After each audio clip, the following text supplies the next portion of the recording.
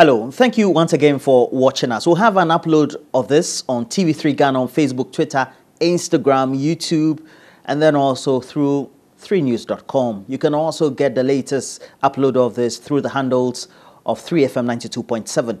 But uh, we want to speak to somebody who is well known across the country, but especially in Christendom, and is one of the biggest prophets of the day. Very young man, I have to say, but he's also um, the leader and founder of the Prophetic Hill Chapel. And we're talking about Prophet Nigel Gaisie. He is speaking to us um, right now, and I have to say, I thank you for speaking to us. It's a great time speaking to you. But I have to say that um, you seem to have carved an image and a reputation for being controversial. Why, why very controversial? I would say that to use yes and no, yes, in the sense that anybody that is doing the work of God to the point of impact, and definitely some will see it as you are worrying them because people that are in occult, people that are in other, they they will feel that you are hating the satanic base. So, but to a larger extent, I think that all is about uh, uh, the uh, impact. That Jesus came on earth and he died at a very young age, but he made an impact. Muhammad came, went very early. It's about impact. Siddhartha Gautama about impact. So, the essence of living is all about impact, and I believe that I'm making impact and a positive impact. So, controversial or otherwise, and you cannot be a prophet without not being controversial what the regular person would say controversial because the prophecy to Elijah said you are the only person seeing it. You are seeing what the regular person is not seeing. So cotton and code it to be controversial. And over the years, the thing that come out of me, they are they are they are shocking.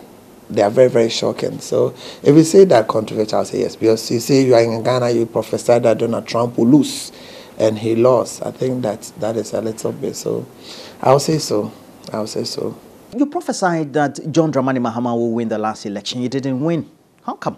I was inspired to say because I'm not the one that prophesies. It's the Spirit of God that enhances me. The Spirit of God comes on me, and I speak just as the Spirit of God leads me. So I don't prophesy. It's the Spirit that comes on me, and then I speak the mind of God. And the glory here is not to me, it's to God. I don't surrogate the glory of God. So I like when they say that I was inspired to prophesy because I will prophesy by inspiration. To you and any right, a right and balanced person watching your most watched session now knows very well that, uh, quote and unquote, the former president. Uh, because of the time we are in, I'll choose my words very careful. But uh, I think that where I stand, uh, the last general election. And here too, because of the times we are in, I will speak figuratively. Uh, the former president of a certain nation I call Umuofia, he's the one that won, not the current ruling system. But again, it is an unseen hand that tempered with it. I believe that everybody, because you can't have majority in parliament, you can't have majority in parliament and lose the presidential. And I'm a student of history. I, am a student of history. Anybody that's, if the opposition gets six million, ruling party gets six million, the West should be run off. The West should be run off. And we all know what happened in Umuofia, a place like South Techiman. We all know what happened. We all saw what happened in their parliament. So I think where I'm standing, I think that the prophecy came to pass. The prophecy I was inspired to say that the former president Kwame Dramani will win. I think that where I'm sitting, I I hold, and they themselves know. Then everybody watching me who is not balanced, who is not colored, with respect to political colors, knows that very well that the former president. Uh, that's it. Now, these so-called prophecies that you're led to give led the IGP to convene a meeting of some of the topmost, if not all the top leaders within the church of this country. And it's all because of the prophecies of some of you, if not all of you. You, the prophets. What do you make of that meeting and the outcome itself? Okay, again, Roland, I'll say that uh, I I followed I followed my attention. They uh, uh, they elected me, so I followed the news, and I feel that the people that went there, I salute our our Christian leaders there charismatic, the Pentecostals, the church. The, I saw the Assemblies of God, sorry, Assemblies of God church, their superintendent, their chairman, and Church of Pentecost. Other people, I don't know them. But I didn't see any representation from the prophetic. I didn't see any representation from the prophetic. I didn't see Prophet Owusu Bempah there. I didn't see Bishop Salifu Amoako there. I didn't see I didn't see Prophet Opokunsia there and other people that we all know that they are prophet or other people that they prophesy. So it's one number one. It also talks about how weak the frontiers of the prophetic is. You are the people that when we have we have we have seven denominations. We have we have the Orthodox, the Anglican, the Catholicism, the Methodist, the Pentecost, and we have the charismatic, then we have the prophetic. They all represented. But the prophetic, and this going, ongoing issue is all about the prophetic. And the major prophet in the nation, I did not see them there. One, I'll say that it exposes us how weak and how on we are not united. The prophetic strong uh, faith, we are not united. That's the first one. And also, it talks about the fact and also suggests us that the the state apparatus uh, they have to do what is needful because it's like aeroplane, it's like ship, it's car, it's all a vehicle, it's all a mode of transport. But you can't put plane on a ship. Uh, its purpose will not be realized. So if you call the Anglican, whom they don't prophesy, if you call the Orthodox, whom they don't so much, they are not frontiers when it comes to the prophetic then it's like you are putting a ship on the on a on a on a wrong on a wrong motorway. You understand? It's like putting a ship on a on a on a motorway, but a ship must not be on a, a ship must be on the sea. So if the state apparatus want to really talk about the prophetic, if they want us to educate them about the prophetic, you don't go pick the Anglican. Respectfully, we respect all of them, but you pick the prophetic. Those are like us. I prophesy by the Spirit of God. Uh, El Bernard prophesies. Prophet Owusu Bempah, Bishop Salifu Amoako. I mean, they are the first generational prophets. Then after that, it will come to Prophet Ajima Prempe, my spiritual father, Apostle Kofi Afriye, and the rest. You understand? It will come to us. So really, we're talking about prophecy. Uh, you can't go and call a teacher to talk about prophecy. We have fivefold ministry. We have apostle, teacher, evangelist, and pastor. A pastor can talk about it, but a pastor cannot really go deep when it comes to what really prophetism is. So if, I don't know if I've, been, I've, I've tried to answer your question, Mr. Walker. And I have to say the service is worried, if not the national security apparatus, that your prophecies, not necessarily you as a person, but all of you within the prophetic ministry or ministration, seem to be causing fear and panic and insecurity in our country. Anybody that says that, I think that that person is carnal. That person is very, very carnal. But the work we are doing is not academic, it's not intellectual, it's spiritual. And you cannot marry the physical and the spiritual.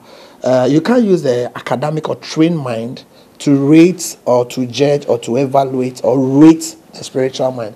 Before you can you can you can come to the party to understand us, you have to also be spiritual. You have to also be spiritual. So if somebody says that we are causing fear and panic and the rest, I don't know what they mean.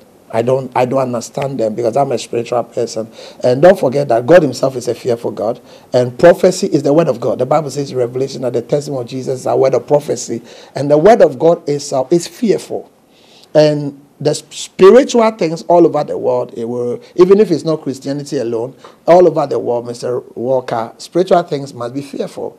So if you want to say that a prophet is saying this and a prophet is saying that and it's affecting the natural physical security, I don't think that I've never seen any Ghanaian prophet take a gun, go and shoot somebody physically.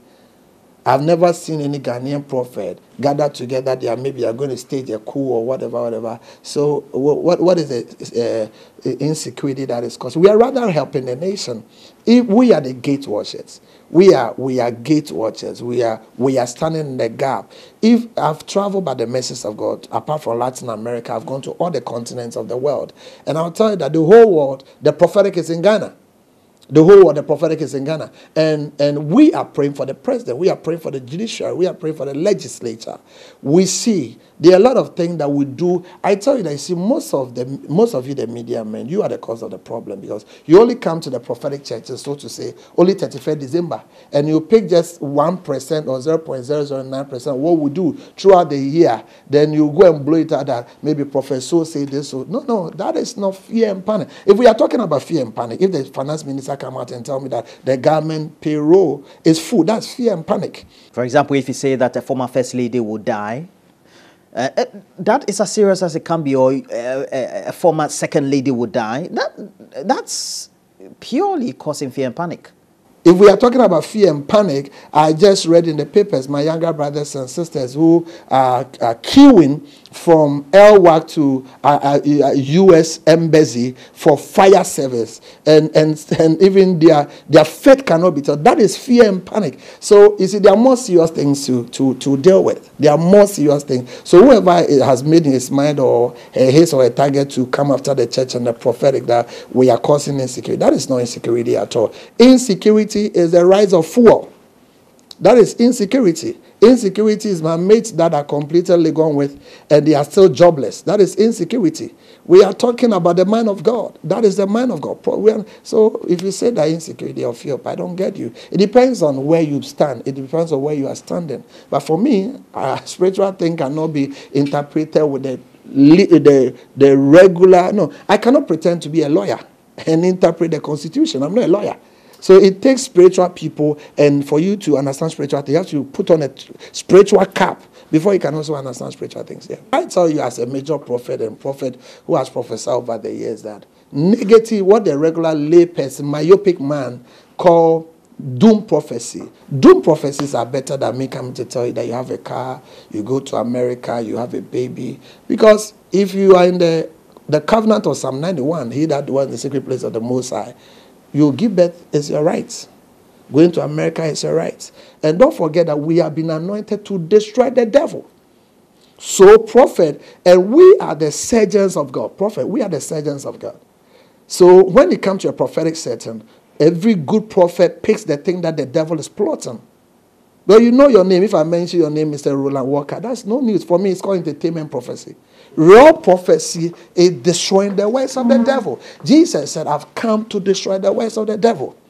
And I've heard some people ignorantly say that uh, why don't the prophet walk to the person or reach out to the person? You see, we are, if you don't know, like I, I, I write this, I will not pretend to be his lordship Anin-Yeboah because I'm not a judge, I'm not a lawyer. So if you are not a prophet, try to understand and try to learn. And thanks to Google, you can just Google and know much more about prophetism. Mr. Walker, we have types of prophet. We have minor prophet, we have major prophet. We have prophet that are sent to specific people. Like Prophet Nathan was a prophet that was sent to a specific house. Like Prophet Isaiah, he was a major prophet like Agabus, he was a major prophet. Jeremiah was a major prophet. Jonah was a major prophet. Uh, a major prophet is known by your books, it's known by your works you have done. If the Bible is being written in all humility, my works and made other prophet in Ghana, our works support that we are major prophet. Watch me. Acts chapter 3. Agabus stood and said, There's going to be famine. That's Acts chapter 11. Acts chapter 22. He said that there's going to be a serious famine. What did that cause fear and panic? The people that worked on it, there was no famine. Acts chapter 20, they said, Who is this? The person is going to Rome. The person is going somewhere. They will tie him publicly, kill him. Paul came arrogantly and said that, I will go. And it did happen. So we have some prophets that have been sent. Like before he came for this interview, I'm from my time brand. I left a lot of people, hundreds of people, just to come and grant this interview. We are so busy. We are, and uh, if you come to church, yes, we'll give you individual prophecy. But some prophecies to the Lord ins- commands you that make it public. If by your next prophecy you're picked up by the police or even national security, uh, what will be your reaction? I'll say Jesus is coming and I'll fulfill scripture and I'll be fulfilling scripture. Was, whilst they handcuff me, I'll decree and I declare that Jesus is coming. Anybody who doesn't have Jesus should repent because it is fulfillment of prophecy. That the Bible says that when it gets into the last days, prophets like my nature, the state, evil states will come after us. And again, the person I'm following, Matthew 27, Matthew 28, Jesus was arrested. So who am I? Why did why was Jesus arrested? He was arrested because he was telling truth to power. So if I'm telling truth to power, if I'm prophesying and I'm speaking a man of God, I'm telling what the Lord is saying. That's here the Lord. And somebody feels he's so powerful and they feel uncomfortable with that and they want to come come after me, arrest me. I'll say praise the Lord. But don't forget that when you touch me, it's not me you have touched. You have touched heaven. When you touch any prophet in this nation, it's not me, it's not that prophet you have touched. You have touched heaven. If you touch any church, it's not the church you have touched, you have touched heaven. And the Bible says that it is a dreadful thing, a fearful thing to fall into the hands of God. And throughout history, nobody has touched a prophet and the person ended well. Nobody has touched a church and the person and the descendants of that person ended well. Are you threatening the state, the state of Ghana? I'm not, I'm not threatened. I'm, I'm a prophet. I'm talking on the ticket of the word of God. I'm, I'm telling you what the word of God says. The Bible says, touch no man anointed for that matter, and do my prophet no harm. May I also say that no prophet is perfect. No prophet is perfect. I have been saying that there are certain prophecies, Mr. Walker, I've given, I've inspired to give over the years that if I'm giving the same circumstance, the same message, I will, I will not present it as I presented it. I began to say, so we get better. Don't forget that we are also agents of change in develop in the development of the nation, and we are also a source of bread and butter for, for, for people in the nation. So if maybe one prophet or the other is doing something which which is wrong or something, I think that we can call the person behind the bar. As the Bible says, the elders of the state or the elders of the we should talk to the person, advise the person. But we should not, no, no, it, is, it will be a dangerous thing that any group of person or organized persons or a person will come after a prophet who is called of God or a church which is of God. It will, and again, the nation will be denied mercies the nation will be denied mercies. And anytime a nation does that, anytime a government is doing that, it is a sign that that government is a failed government. It is a sign that that leadership is a leadership that is in crisis. There's a current ongoing issue. We're talking about the Ghanaian and Family Values Bill, and uh, it relates to the LGBTQI plus community. And it's all about how the Ghanaian feels that their moral values need to be promoted. But let me ask you, what do you think should be the position of the president in the first place on the subject? Sir, I don't have any other position. My position is clear, which is Leviticus chapter 18, verse 22. The Bible says that a man should not lie with his fellow man and a woman should not lie with a fellow woman. The Bible says that it is an abomination to the seventh generation. And Mr. Walker, when the Bible puts a seventh generation, we are talking about 70 years. So that means that anybody that is a lesbian, that's a gay plus, yeah, plus, plus, plus, plus, whatever, is cursed by God, It's an abomination. That's the first one. So to answer your question, what should be the position of the president? Rise and fall depends on the president. And we thank God that in Ghana we have an executive president. I'm a student of history. The former president, John Dramani Mahama, was emphatic that the culture, the values of the people he superintends over as president, they, they hate that. So it is a no-no. President Mills also came out. He said, it's not his time. So I'm expecting His Excellency Nana Akufo-Addo not to throw it like he threw it to Parliament, not to play around the table. He should be emphatic because everybody hates it. The Muslims hate it. Traditionalists hate it. We all hate it. I don't have any independent mind the mind, what the Bible is saying is what I'm pushing. So the, the, you see, we should not even waste some George, Honorable Sam George, their energy or whatever. This thing, you see, we have more weightier issues to deal with. I went to Abusco.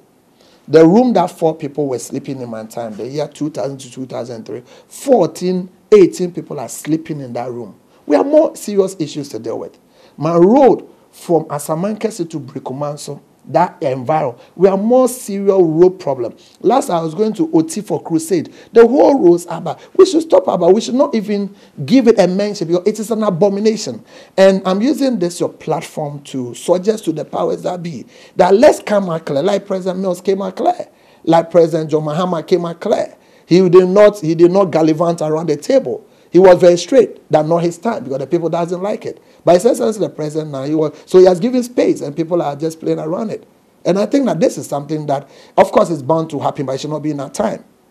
It should not be in our time. We should not even mention it. Like again, I said, I've been to Israel. Genesis chapter 19 talks about Sodom and Gomorrah.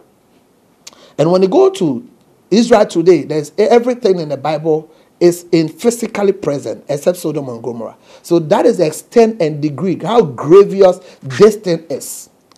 That this thing is not something that I want to even use my mouth to mention it. And let's not forget that anytime civilization, people do modernization, people do I know my right, we are pushing our right, we become animalistic. Anytime a group from the, the era of classism to the era of romance, to the Egyptian time, to the Berber, to the Phoenician civilization, to the Iron civilization, the Bronze and Gold civilization. Anytime a group of people pushes that our rights, our rights, our rights, our rights, our rights, they become animalistic. They become animals, respectfully. So we are suggesting humbly to His Excellency the President to put a finality to this. But you see, Roland, as a prophet, I've prayed about this. So this will be the agenda, Mr. Walker. Parliament will pass it. And I saw three people, and this is a prophecy. Parliament will pass the bill against the LGD, blah, blah, blah. But they'll use three people with an unseen hand. They'll go to the judiciary, and the judiciary will reverse it on the ticket of human rights. Mark it down, it will come to pass. Yes. So the church of Pentecost should rise up again, and all those who have votes, all those who have voices. because I saw it, and this is a prophecy. Yes, this is a prophecy. They will pass the LGT, blah, blah, blah. Parliament will pass it. But I saw some people. You see, let me tell you something. Eh? There is a man that I respect him so much. And maybe he might not remember me, but once I was in Legon, those time behind Sarbah Hall, that is Professor Tukuba.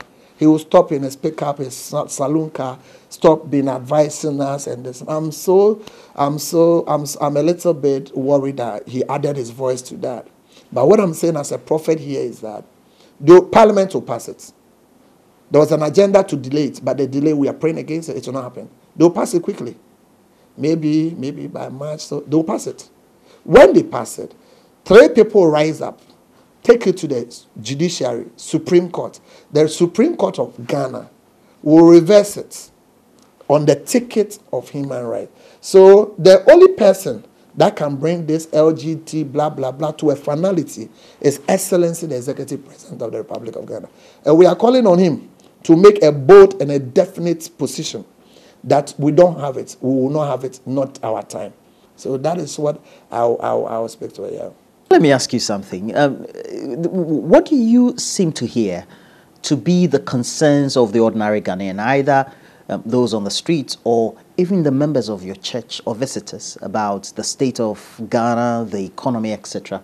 I'll be measured again because of the time we are in.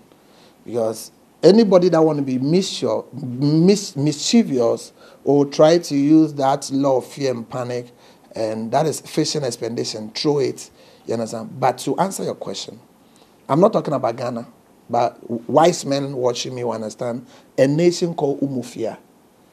Mr. Walker, for ah, by the message of God, I'm a general. I'm the human fund of a, a, a, thriving ministry.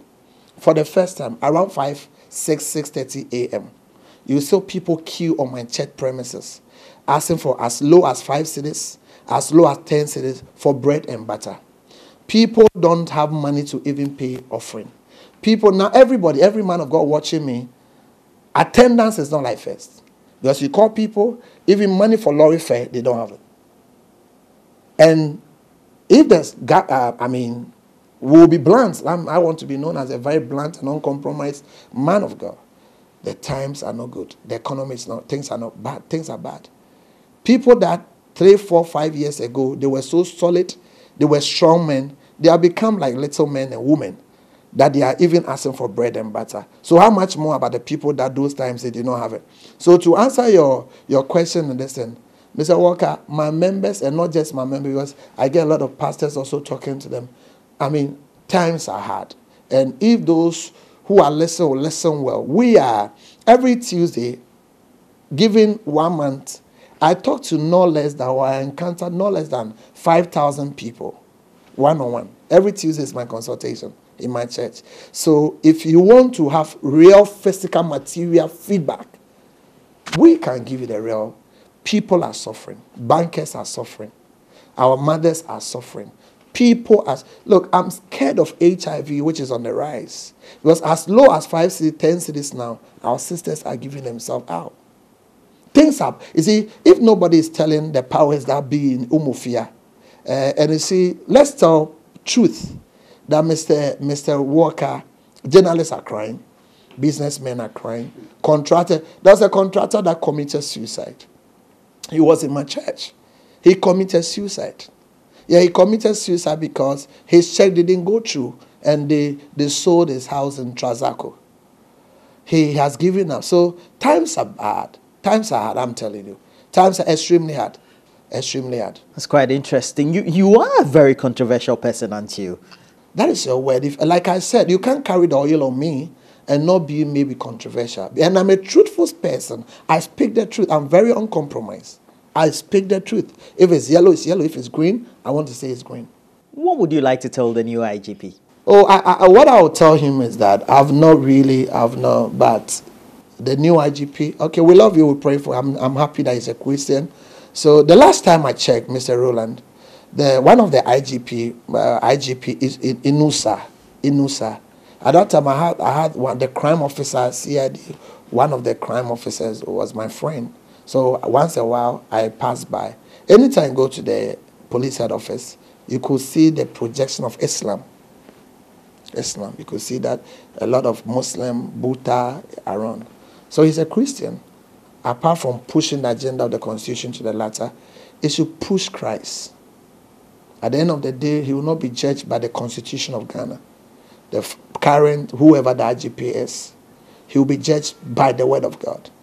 And anybody throughout history, throughout history, uh, I would say that Ghanaians as people that Domelevo, the former uh, auditor general, President Mills, President Mahama, His Excellency, the former President Nana Akufo-Addo, the same person that says, Oziana, Oziana, Oziana, they'll say crucify him. So we'll pray for him. I think I've spoken figuratively.